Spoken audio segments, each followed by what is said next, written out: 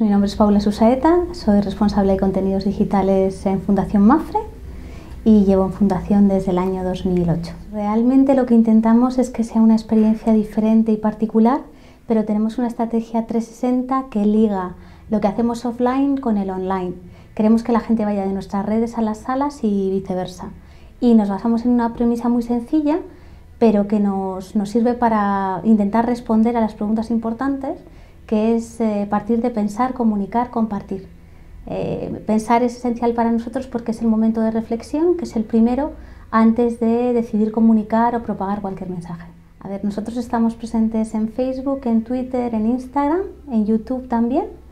Eh, las utilizamos para comunicarnos y para escuchar a aquellos que no están cerca, también para escuchar a los que están cerca y vienen a nuestras salas pero eligen este medio y para crear esa experiencia alternativa que te he dicho antes, que puede ser complementaria de venir a la sala, pero que también se puede vivir de, de una manera aislada, sin duda, sin duda. La comunicación digital permite que se puedan, las fronteras físicas y de territorios se han roto por lo tanto, se puede estar trabajando localizado en un lugar, en un proyecto que está absolutamente alejado físicamente.